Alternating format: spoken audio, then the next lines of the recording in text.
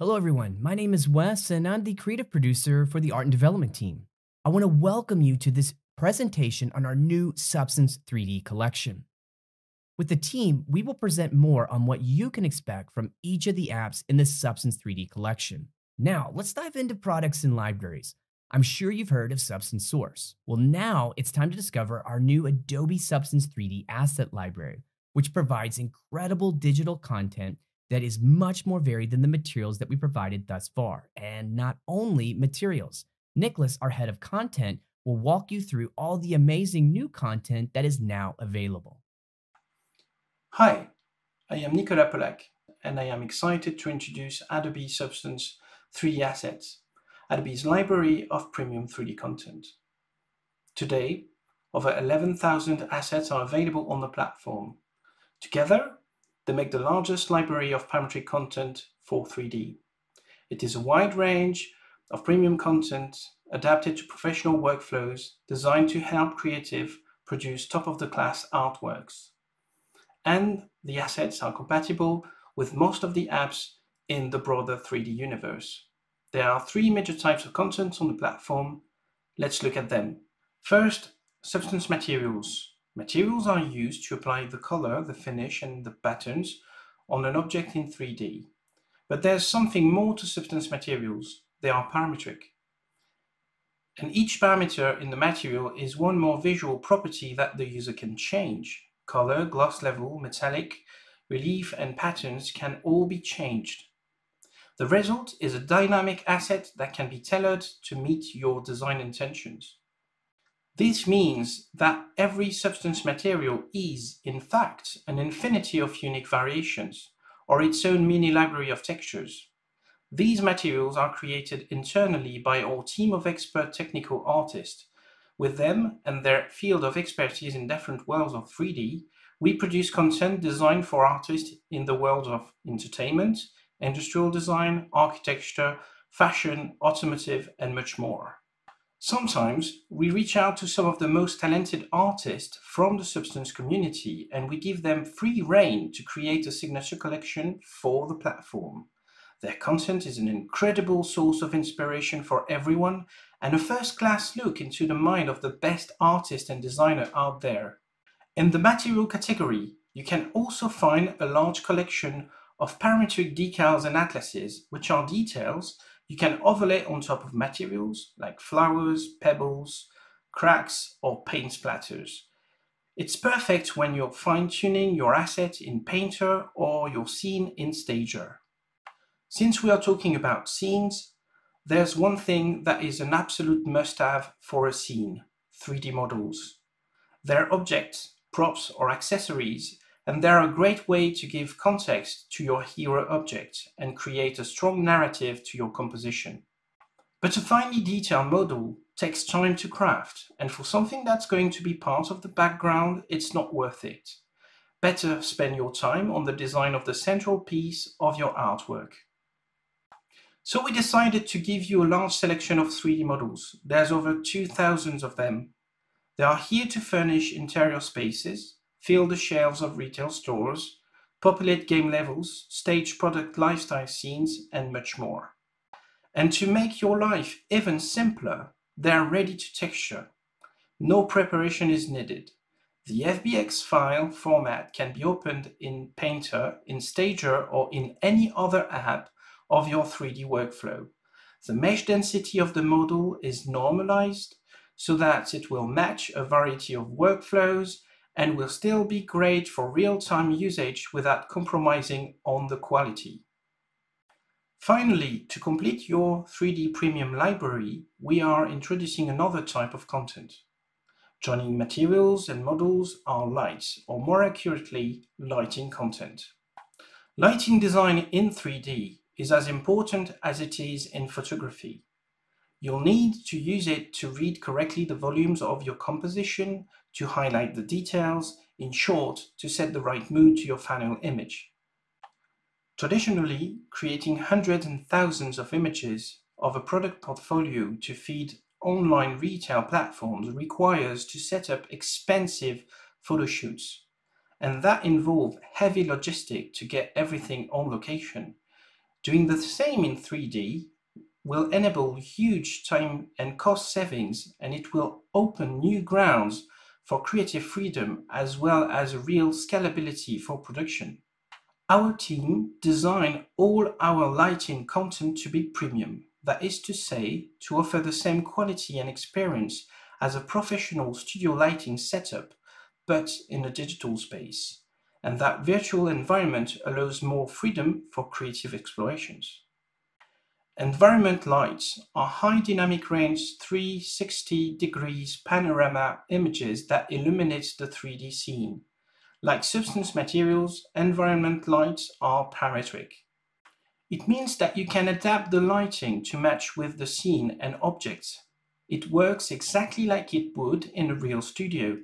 You can change the exposure, the temperature, and the intensity independently for each source of light in just a few clicks. Then there's backplates. They are high resolution images that fill the background of your 3D scene on the final rendered image. What's the real game changer though is when you take environment lights and backplates and bring them together. Combined, they create an environment stage. To create this collection, we partnered with expert photographer to design studio light moods. Well, that's all for now. It's your turn to dive in the playground. The ever-growing library of 3D content is available for you to play, mix, experiment, assemble and customize to meet your own design intentions. And we can't wait to see what you'll create with them. And stay tuned, we're already working on the next release of 3D assets. Thank you, Nicholas, for that walkthrough of the 3D Asset Library. What an amazing library of content for creation. I'm especially excited to have access to all of the mesh files. Now, let's dive into Substance 3D Painter with Valeria, product manager and technical artist, who's going to walk us through the updates as well as a demo. Hello, everyone. My name is Valeria Gerontopoulos. And on behalf of our team, I have the pleasure to give you a brief overview of all the things we've been working on for the past couple of months. First thing you'll probably notice when opening Substance Painter is the new asset panel. To give you a bit of a context, we've decided to freshen up the look and feel of this panel, and we figured it would give the users an opportunity to navigate easier in it. And since we're right now part of a bigger ecosystem, we've decided this was a good opportunity to align with our Substance 3D siblings. One of the new things that we've added to the panel are the asset type icons. Now, the default selection, as before, are material, but we also have, in order of appearance, smart materials, smart masks, filters, brushes, alphas, textures, and environments. Now note that some of the old categories are grouped together. So for instance, if you're looking for grunges and procedurals, you'll find them both under textures. Another cool thing that we can do is browse through multiple asset types at the same time. For instance, I myself find the need to look through both materials and smart materials together, and now I can do that by selecting the second asset type with a control click. I can also narrow down my asset panel to a very small width, which allows me to still focus on my viewport and have the panel open without actually having to close the whole thing entirely. Another new addition to the asset panel are the breadcrumbs, which allow you to quickly navigate through your assets. The default selection are all libraries, but if you wanted to browse only through your imported assets, you can simply go here and click your assets. As you can see, it also allows you to access your project files here, that is assets you've imported to your project, or for example, this is where your bakes are going to be stored. And as you can see, they're stored by texture set, which allows quick access and sorting. Now the breadcrumbs are a reflection of the existing folder structure on your disk.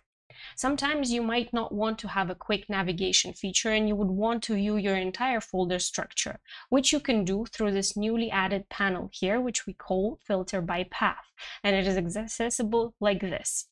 If you combine your search with an asset type or a keyword, you might see that you have no results and your folders turn up empty. This is because we've also added a button to toggle the feature of not seeing empty folders within this panel. Next to filter by path, there is another new button. This one toggles saved searches. In here, you can easily save your most frequent queries. If I go to my presets folder here, you'll see that it contains different types of assets. However, I would like quick access to Photoshop brushes. And so by selecting this location and typing Photoshop, I can save this search so it can be quickly accessed afterwards. The saved searches take into account location, keyword, and asset type, which allows you to quickly create and access your searches on the fly. A small but handy addition to the asset panel is the list view for thumbnails, which allows you to have a more compact view of your assets. Staying within the realm of the asset panel, we'd also made some improvements to the thumbnails. And now thumbnails should appear similar across all Substance apps. We had also added displacement generation to the thumbnails, so now if you actually import a material that contains displacement information, you will be able to view it as is within your asset panel without having to apply it. Substance archives, which have an embedded thumbnail, will now be read by Painter and displayed in the asset panel, which can come in handy with filters and generators which have custom illustrations of their effect or even with materials, which will save some time as it is much more performance friendly to read the thumbnail that is embedded instead of generating it anew. Speaking of performance and optimization, this feature may appeal mostly to studios. Now you can customize your RAM budget for thumbnails through an environment variable. Additionally, there is an overall boost of performance for the thumbnail generation, which means that it should be two to three times faster. We had implemented a brand new shader in our ecosystem called the ASM, Adobe Standard Material. The advantage of this shader is that now across all Substance apps, your materials will look the same. Another really cool thing is that you will no longer need to juggle between different shaders and texture sets. You can use several different effects in this one shader without actually having to switch you'll find that ASM is now part of our project creation templates. It supports several advanced features, such as anisotropy, sheen, clear coat, and we've added a new method of subsurface scattering generation. Let's take a look in more detail. So let us take a look at anisotropy first. Usually that's the channel that's used for brushed metals and hair. Here in my project, I'm going to use it on this metallic part here. Now, first thing I would like to do is set up a fill layer which will use anisotropy and I've done so already and named it as such. And the next thing we're going to do is to add the appropriate channels, just like with the old shader. So we'll need an anisotropy level and an anisotropy angle, which will pop up here. We're just going to activate them here. Currently our anisotropy level is at 1, and that's how we know that it's going to work. As for the angle, we'll need a map and here I'm going to use this procedural map that we already have in the painter asset panel anisotropic noise. I'll just drag it here. And for the moment, you do not see anything appear in the viewport. That is normal. It's because I haven't activated it in the shader settings yet. So if I go over here, see I've got my ASM Metal Rough shader selected. And then I scroll down here to base surface all I need to do is click Enable Anisotropy. As you can see, my shader has updated in the viewport.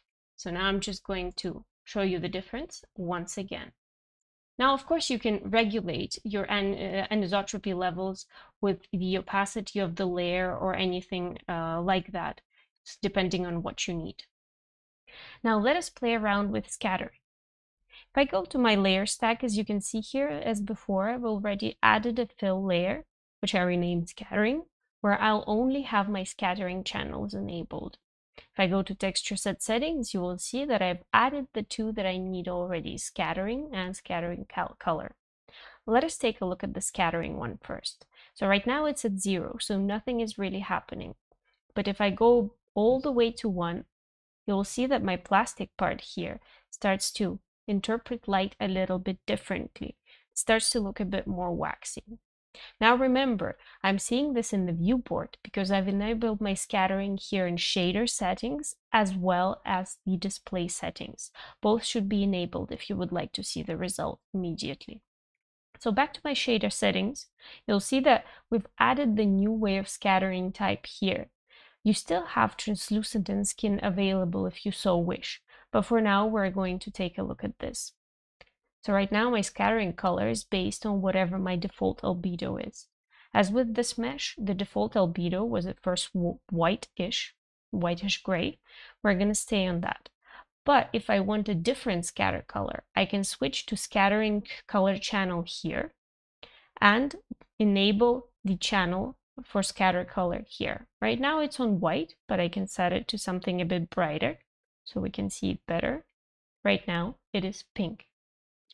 Now, this, what is interesting about this is that if I enable my base color here, let's switch it also to something a bit funkier, and then I add another channel called translucency, and within this channel I add a gradient it will allow me to interpolate between base color and scattering color. There's a lot to experiment with here, I think, and you can achieve some pretty cool effects with both. Now, just to demonstrate the other two options, I'll switch back to default albedo. So right now, my channel is going to be based on whatever the albedo is. Let us switch off the color here and translucency. We don't really need that because I would like to show you what the redshift and the Rayleigh part do. Redshift will allow the red light to scatter deeper within the part that is designated for your scattering. So as you can see, as I switch the slider here from 0 to 1, my plastic part becomes a bit redder, which is pretty appropriate for skin or any kind of character uh, texturing. Now for Rayleigh, it allows the orange light to penetrate better, than blue light. So if I switch it here, you might see that my plastic is becoming more orange, which may be more appropriate for artificial objects. Another novelty for Painter is the sheen channel. For those who are unfamiliar with it, it is commonly used for fabrics. It gives the softness, fuzziness effect on the surface. So as before, I've set up a fill layer, which I've renamed Sheen, which I'll use just for my Sheen channels. And here I will add the three channels that are appropriate for Sheen. Sheen color, Sheen roughness, and Sheen opacity. So as I've mentioned with clear coat, you do need the sheen opacity channel as it will really allow you to display it in the viewport and it should be set to 1. Now let's go to our shader settings and activate it here. So right now it is set to white. Let us set it to something a little brighter so we can see it better. Let's set it to purple here. So you can see that my plastic here that I'm experimenting on is now slightly purple just on the surface as it is appropriate for sheen. And you can play around with the sheen opacity setting if you want it to be less or more purple or the sheen roughness if you want the roughness to be slightly different. As many of you may know, Painter takes height information and converts it to normal detail, as it is just easier to work with height as it is in black and white. So what we did is add a new method of conversion called sharp, which you can find in the texture set settings. This new method uh, is more precise when it comes to high frequency and hard surface details, especially when your material is a tiling one. We also made some updates to our auto unwrap feature. If you open up the unwrap option window, you can see that you can now select UV island orientation. It allows you to orient your UVs in the sense of your mesh, which could be useful for more rigid meshes like planks or doors, for example, so textures flow in the same direction. Auto Unwrap also works with UV tiles now, there is an additional setting in the same window here, which will determine the total maximum number of tiles in your project. The minimum number of tiles should at least correspond to your materials, which means that you should have at least one tile per your material. Some cool new content is made available for this release. You should be able to download over 50 new smart materials from Substance Community Assets. Now we didn't add it to the asset panel directly because we figured it would make the installer just a little bit heavier. Instead, however, we did add a couple of new environment lights, which you can find in your asset panel. As we're part of a more global initiative now, we have the opportunity to actually localize our app into several different languages. So now you can find this option within the settings window, which you can find here, and you are able to choose from English, French, German, Japanese, or simplified Chinese. I'd like to thank everyone for joining me for this quick overview of Painter, and most of all, I'd like to thank the Painter team themselves, as without them it wouldn't have been possible at all. Enjoy the rest of the session, and back to you, Wes. Thank you, Valeria, for that awesome demo. I'm very excited to be using the new shader system in Substance Painter. Next, I'm going to give an update on Substance 3D Designer. This procedural tool has evolved, and we are thrilled to announce or showcase the new Substance Model Authoring Graph. To prepare this demo, I had the help of my colleagues Luke and Celine. So thank you, Luke and Celine, for preparing the content. Now, let's jump in and take a look. I'm going to start by creating a new substance package. Here I'm going to choose the new substance model graph, and then I'm going to link in a 3D mesh. I'll grab this leaf A and B, and we'll click open. And so here I'm going to grab uh, these two mesh items and just drag and drop them here to my substance graph. And here's an example of what these assets look like. Now I want to be able to switch between these two assets. So I'm going to grab here a select node, and then I'm just going to hook this into the source 0 and 1 input. And now I can actually switch between these two assets here. Okay, so first let's do a deformation. We're going to do a bend. So I'm going to grab the bend node and we'll hook this into the geometry. And now if we take a look at the bend, I can adjust my angle. However, I want this bend uh, to actually take the size of the geometry into consideration. So to do that, I am going to grab this measure bounding box. And then here for the point max, I'm going to break this into uh, the x, y, and z vectors. And then on the bend, I can use this top limit. I'm going to click this button here to expose this top limit as a pin. And then I'm just going to simply use the Y as the value input. So now the bend is actually going to work based on the size of the geometry. So now that I've done a deformation, I actually want to recompute my vertex normals. So I'm going to do that here with a mesh cleanup. And then here you can see that I can just enable the option. And we take a look. Now we have a nice smooth mesh. Okay, so the next step is I'd like to be able to scatter this leaf on a curve. So I am going to create a curve primitive node. And so here you can see we have this curve. Now I'd like to bend this node as well. So I'm going to come in here and grab a bend node. And this is going to be the uh, geometry I want to bend. So of course here I can go in and bend this node. However, I need to also make sure that I take into consideration the size or the length of the curve. So here I can actually expose the length parameter as a value in the graph. So we'll do that. And then once again, we'll jump over to the bend. I'll create an input pin for top limit and then just plug this guy in. So now you can see the bend is indeed taking the entire length of the curve into consideration. So here I'm going to want to be able to probably expose this bend. So I'm just going to create a frame here just to give me a visual cue of that. Same thing here with the bend for my leaf. Let's just let's create a frame here. And then also for my select, we'll just create a quick frame. So now what we're going to do is we're going to scatter the leaf on the curve. Let's go back and just set this, this blend here to zero. And then I am going to just simply grab a scatter on curves and we'll go ahead and just hook this up. And if we take a look, you can see that indeed we are starting to scatter here the leaves. So we can get a better idea of what we're doing. Uh, let's grab a merge node and I'm going to take uh, here my curves and then the actual curve primitive. And here you now get a more visual cue of that we are scattering that geometry here on the uh, curve. All right, so we can go over to the curve and we can increase the actual copies amount. We can also play around with the padding because we want the leaves to grow towards the top of the stem. So what I'm going to do is just come over to the scatter curves. I'll create a little frame. This is going to be some parameters I want to tweak a little bit later on. And then also I'm going to jump over here to my curve primitive and play around with this end spin. So I'm going to set this to a, just a value of three to kind of get me going. All right, so uh, now that I have this in place, uh, one of the things that I want to do before the scatter on curve is I want to set just like a, a, preliminary rotation for the mesh. So I can do that by just using a transform node here. So we'll plug in a transform. Let's jump over here to uh, the Y rotation, and I'm just going to set this to a value of negative 25. And now that we have this in place, what we want to do is uh, I want to start to work with some random values. So I'm going to grab here a jitter instances node, and let's just hook this up into my network. And we'll come over here to the jitter. Uh, let's set a random rotation for the X. So on the minimum, I'm going to set this to negative 360. And then on the max, we'll set this to 360. And so now, again, we can scroll down here towards the bottom and also introduce some uh, randomization here to our scale. So I'll set the min and max. So just a little bit of extra randomization. Uh, we can also come back to our scatter on curve and like I said, play around with this padding. So now that we have this in place, let's now start to create the geometry for the stem. So once again, I am going to grab here a curve primitive. And this time I'm going to set the, the primitive type here to ellipse.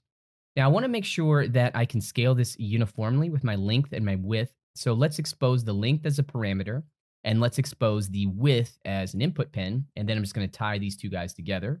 Now for the overall scale, let's just set this to something like say 0.65. This is going to be that uh, primitive. And now I'm going to actually sweep this curve. So I'll grab the sweep curve node and let's come over here for the um, curves to sweep. We'll plug this into the first input and then let's grab our curve that represents our stem and we'll plug this here into the curve to follow. And so here you can see that we've created that stem geometry now. So with that in place, we can actually just hook this into our merge. And if we take a look, here we have the result of our plant. Now we can just go back and start to kind of play around with some of our parameters. So for example, if we jump over here to our leaf, uh, let's take a look at the bending of the individual leaves. So here we can just start to play around with this value. We can come back to the bend for the curve, and here we'll start to play with this. We can get a nice overall bend here. And if we like, we can also come over here to the actual select node, and then we can uh, actually switch between different sources. So here we can you can see that we can get two different versions of this plant. Here in Stager, you can see a procedural foliage mesh in action.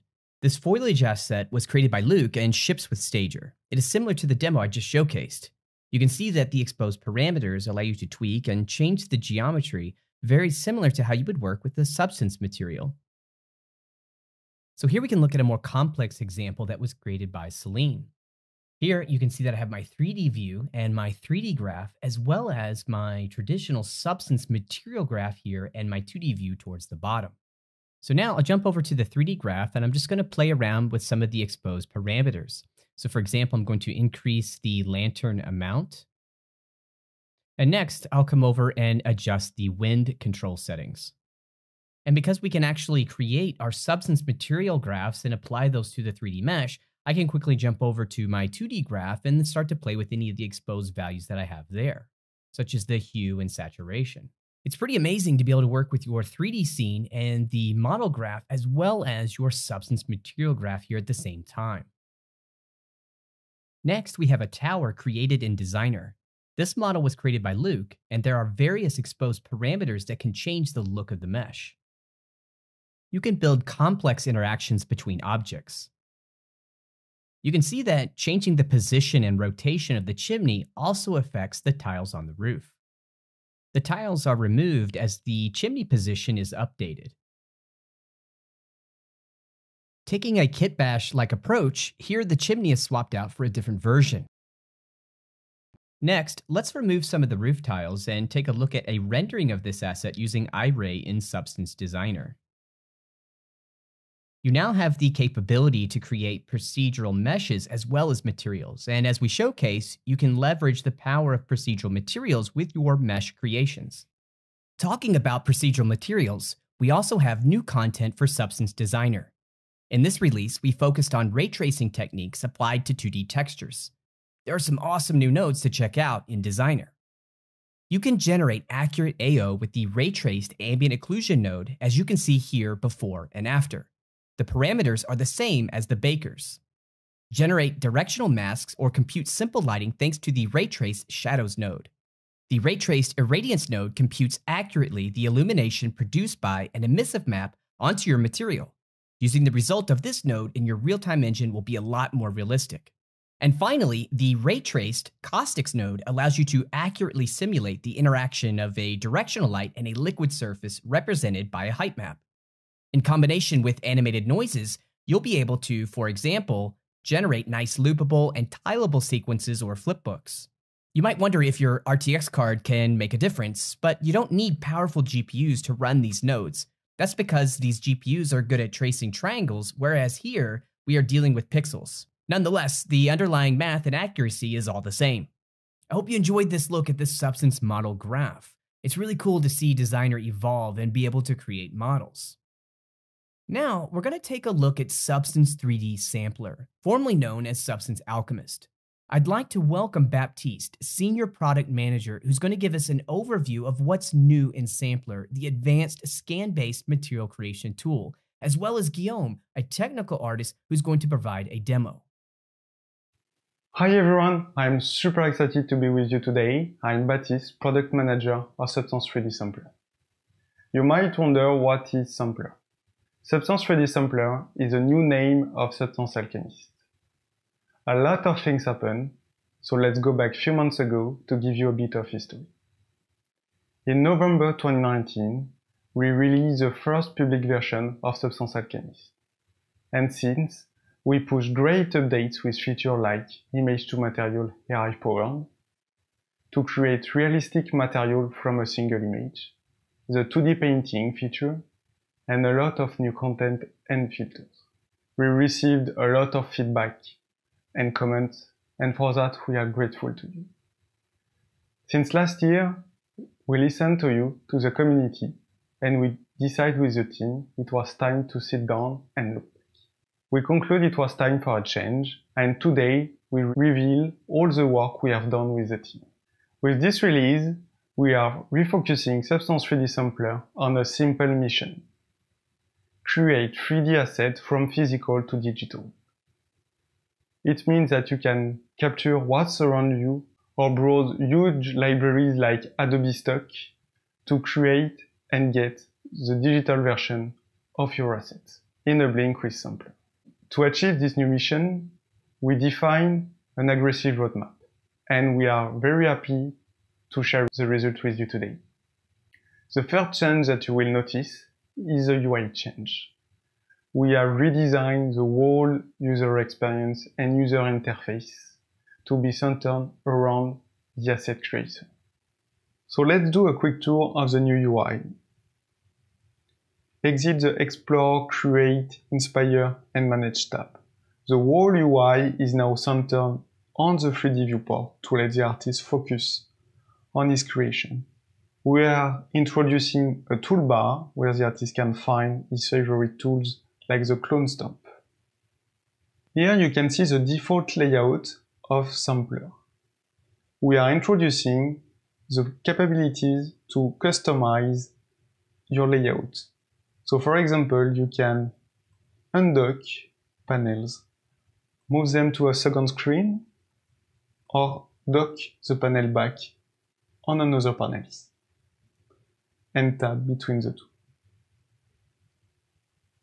Like this, you can create your perfect environment to create in Sampler. Another change of this new UI is a combination of the resources and the filters panel in a new panel called the asset panel. On the asset panel, you can find all your starter content, your materials, and filters. If, if you want to access only the filters, you can click right here. You can also choose how to display your content in a grid or in a list. On the asset panel, you also have a new called Your Asset that is located in your document. In this new section, you can build your own libraries and import your materials, your filter, and images. If you want to connect your own content, you can click here and connect a local folder with all your resources. I hope you will like this new UI and there is still a lot to discover once you will get your hands on Sampler. To continue on our mission to create 3D assets from physical samples, we are extending the scope of assets you can create with Sampler. So now, with Sampler, you can create both materials and environment lights. Using the same principles as we did for materials, you can create environment lights from a set of 360 images or editing existing ones with procedural filters. With all the new changes and the release of the 3D offer at Adobe, it was the perfect time to find a new, name for Substance Alchemist to mark this new step and also to fit with its companion, painter, designer, stager, and modeler. I hope you will like this new version and its new name, and I leave you in good hands with Guillaume for the first public demo of Sampler. He will cover all the new features like the live edit in Photoshop, the new material properties like sheen and coat, and also show you some new content and improve filters. Thanks everyone and enjoy the demo. Thank you, Baptiste, for this nice introduction. I'm Guillaume Meyer, and I will introduce you to Adobe Substance 3D Sampler. We revamped the interface, and on the top right, you can find now the resolution of your project, like in Designer. On the left, you can find the project windows with materials over here and the environment lights over there. We'll come back to the environment lights workflow in the second part of the video. In the Assets window, you can find the materials and the filters with the new icons. You can filter the content by material, by filter, or by texture. If you come back to the root of the assets, you can find your assets. We can also rearrange the layout of Sampler by taking and placing the window wherever we want into the interface. Now let's create our first material together within Sampler. I will just drag and drop this fabric photograph and use it as a bitmap. Now being part of the Adobe's ecosystem, we will bring more and more of interoperability between our softwares and the Adobe Creative Cloud softwares. Now in Sampler, we can right click on the thumbnail of our image into the image layer and edit it in Photoshop. Photoshop will launch and now we can make any modification we wish inside Photoshop. Then we can save the file and the image will be directly updated into Sampler. Now let's drag and drop an image to material layer to create a material. We can equalize a bit the geometry with the geometry equalizer, lower a bit the ambient occlusion strength and the lighting intensity. Then we can drag and drop an equalize filter to even the surface of the material.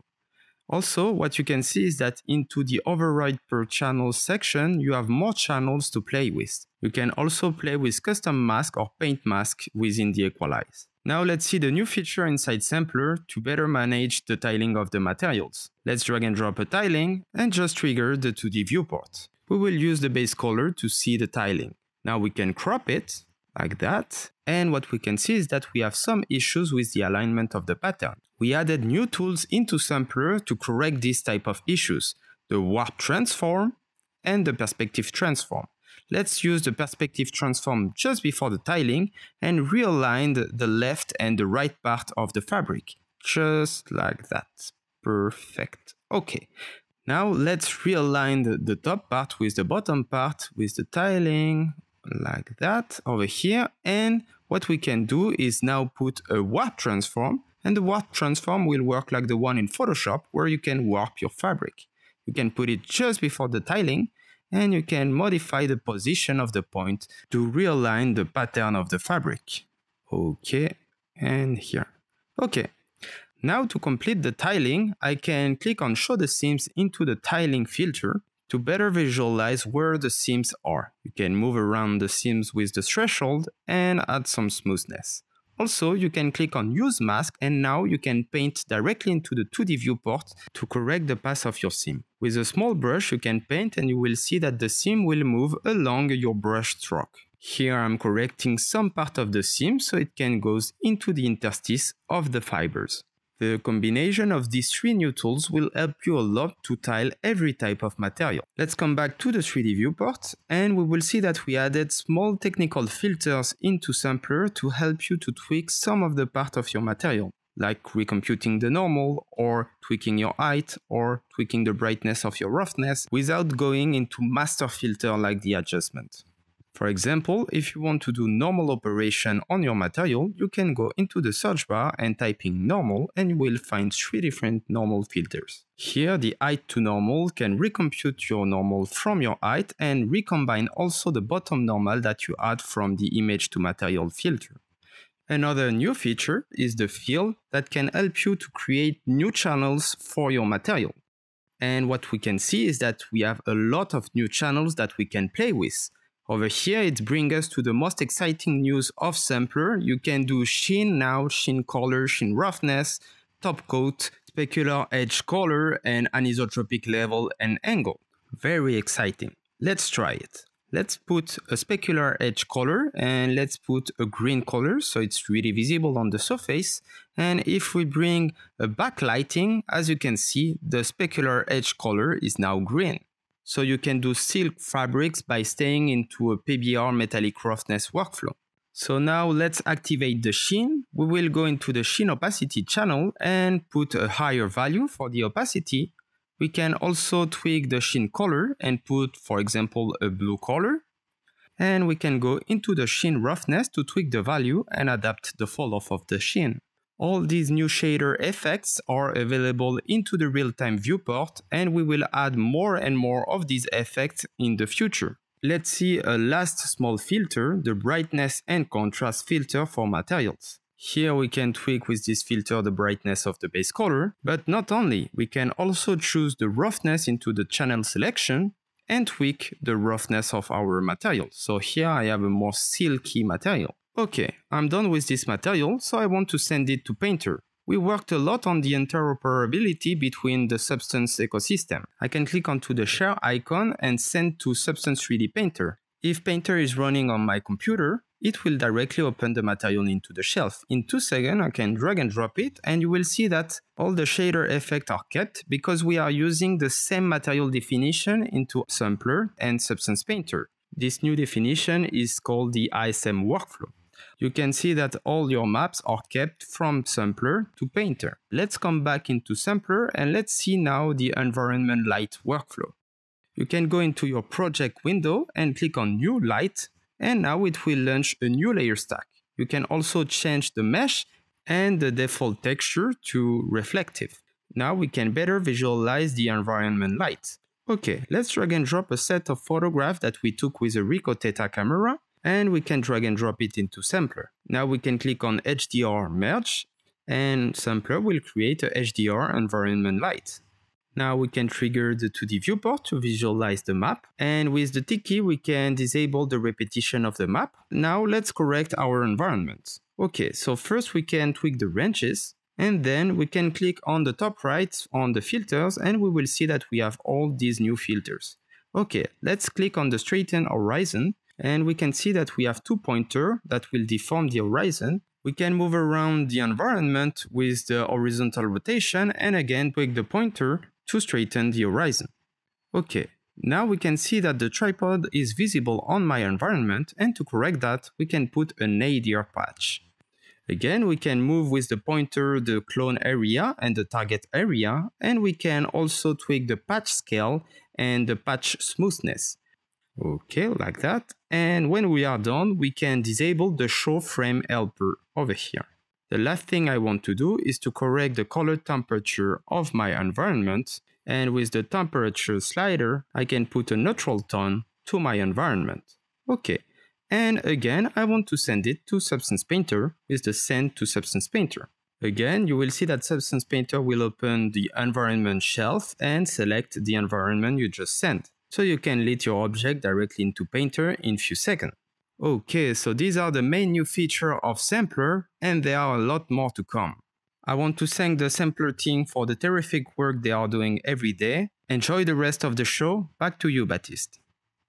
Thank you, Guillaume. I hope you will enjoy this new update and please continue sharing your feedback and artworks with us on social networks.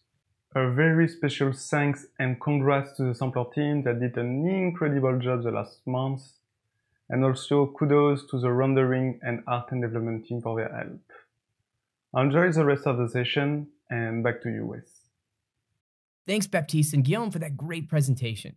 It's awesome that we can create our own image-based lights in Sampler. So now we want to take a look at our new staging app, Substance 3D Stager, the virtual photography tool with Jeanette, Senior Product Manager. Take it away, Jeanette. Hi, everyone. I'm Jeanette Matthews, Senior Product Manager in 3D and Immersive at Adobe. In 2015, we started exploring what our role in 3D was going to be. Whether you're creating imagery to showcase a real world product idea or a 3D illustration, working in 3D is all about producing stunning visuals. We knew we wanted to create a staging application where artists could import and arrange their content, apply materials, adjust the lighting, and ultimately produce beautiful imagery.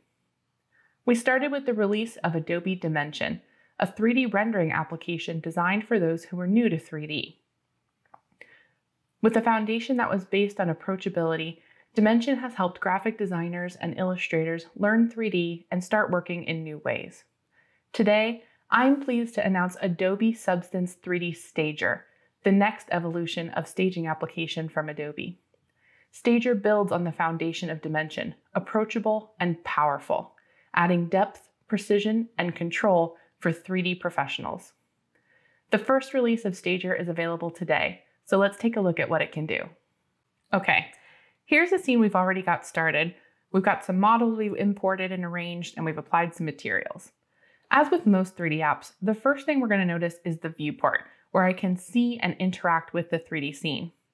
Stager uses Adobe's custom rendering engine, which has been in production since 2016 in collaboration with Adobe Research. By default, the viewport starts in real-time mode. I can open the render settings to switch to ray tracing mode. Interactive ray tracing is very powerful, letting me design in real time with a what you see is what you get experience, so I can make the best design decisions in the moment. First, let's take a look at the basics of importing and arranging objects. Here, I have a painting machine, which has been textured in Substance 3D Painter. I'll use the Send to Stager action, which will automatically import the file to my current scene, saving me a lot of time with manual export and import steps. To place this object in the scene, I'll use the transform tools. Stager includes move, rotate, and scale tools. The select tool includes most transformation controls on one single tool for convenience. One of my favorite ways to move objects is by clicking and dragging on the pivot handle. This will move the object along surfaces in the scene, and it's really easy to get objects into position quickly. To wrap up this scene, I'll add a parametric model created in Substance 3D Designer.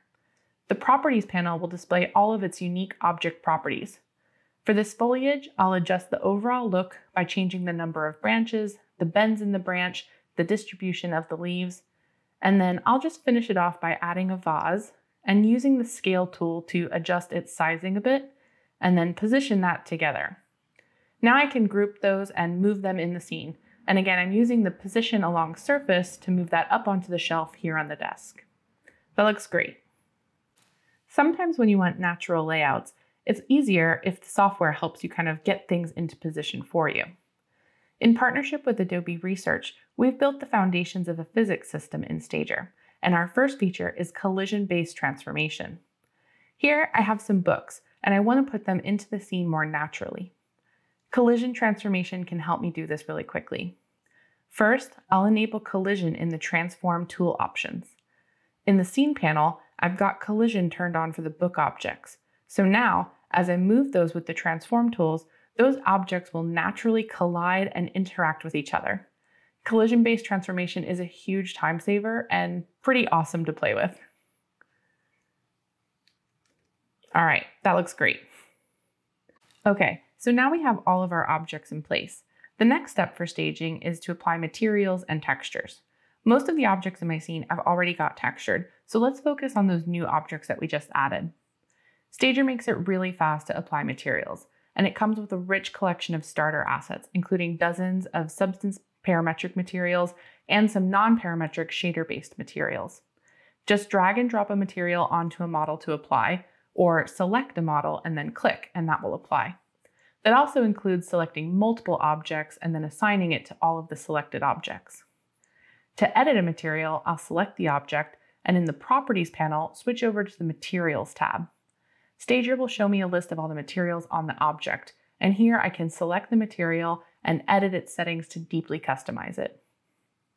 It's really easy to also reuse materials through a scene with the Sampler tool. Activate the Sampler tool and then click to sample a material in the scene.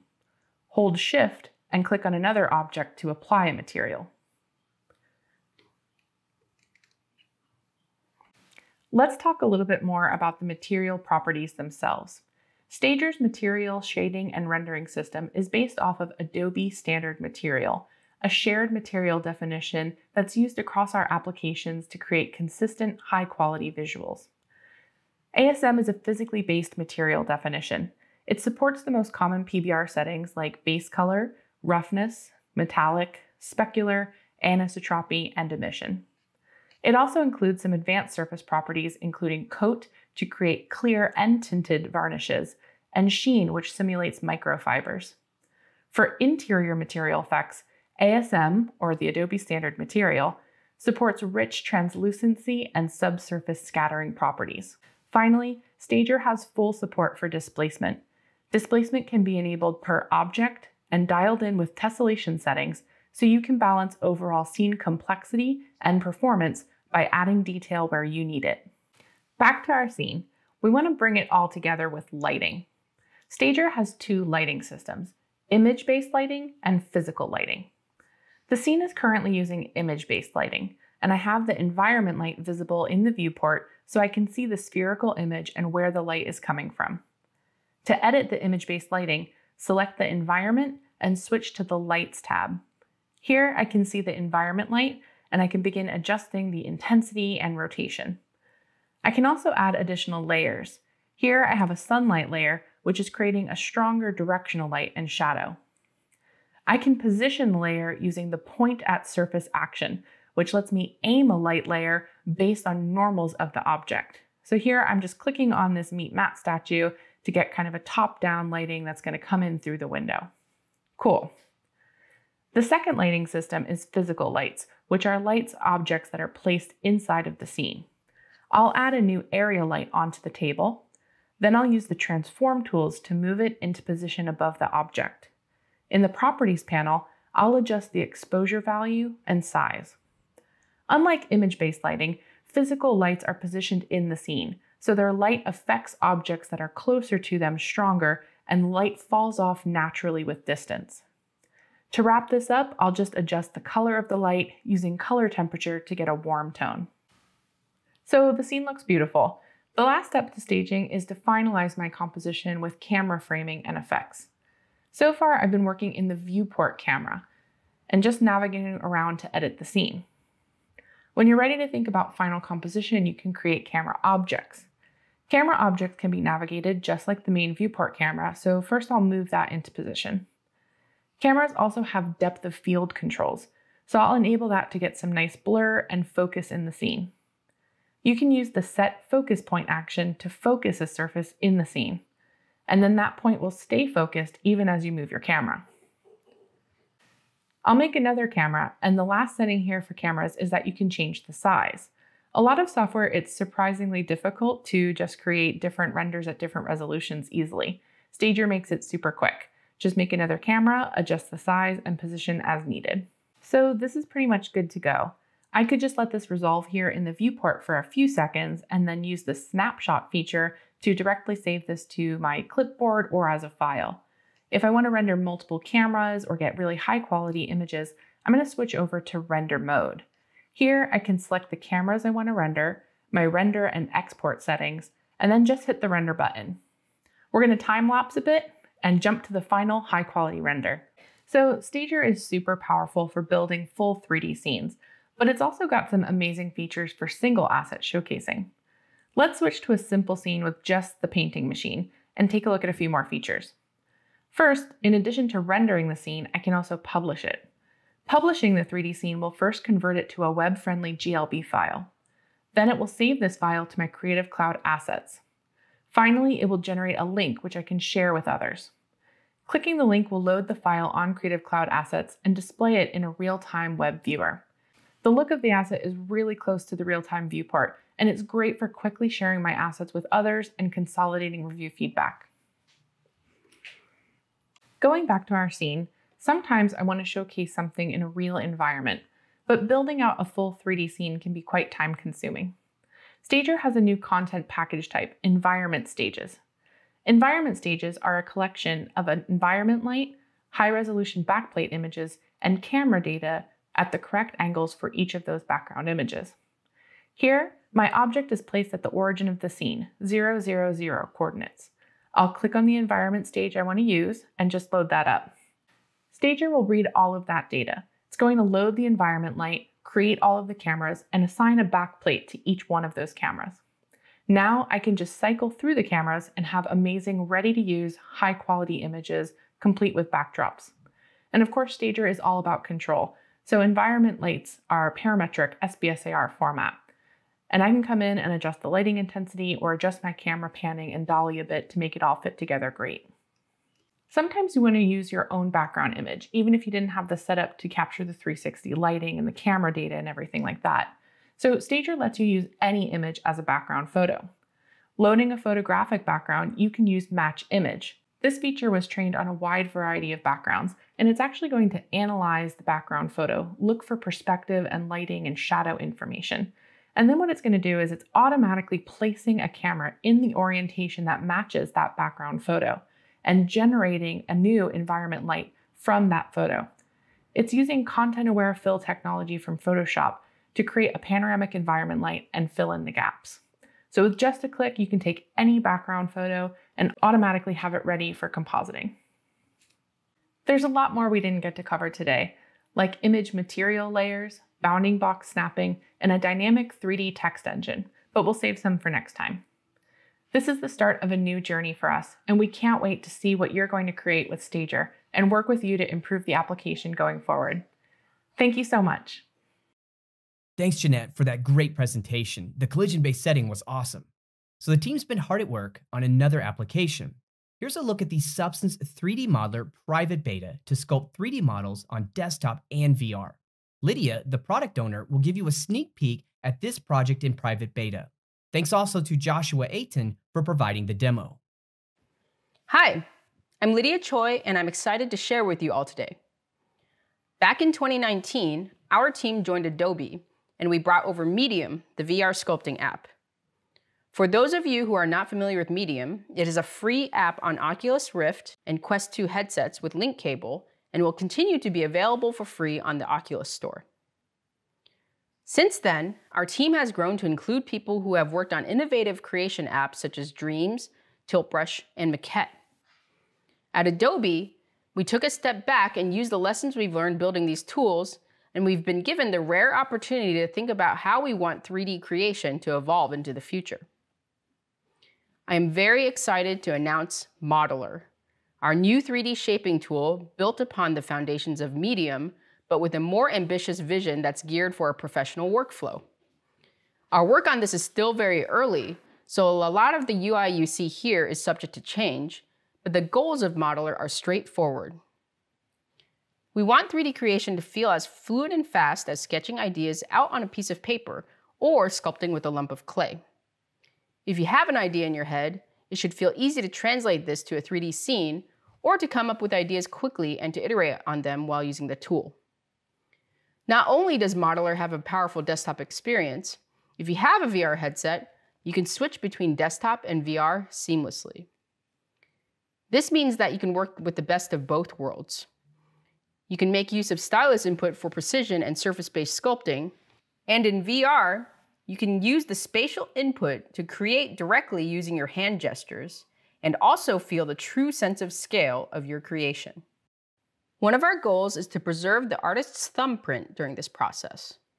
What this means is that we will provide a relatively small set of tools that are easy to pick up and use, and these tools will feel versatile, which means that you can apply a wide variety of techniques with them without the cognitive load of worrying about topology or other technical details that can break your focus while you are in a flow state.